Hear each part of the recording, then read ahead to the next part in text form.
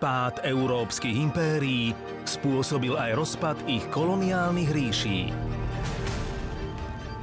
Posolstvo, ktoré vám moja krajina oznamuje, pokoj, pokoj, pokoj.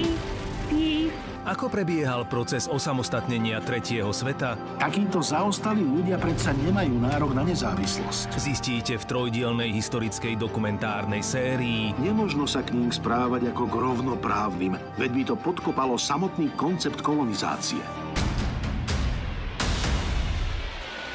Dekolonizácia. V premiére v útorok večer na dvojke.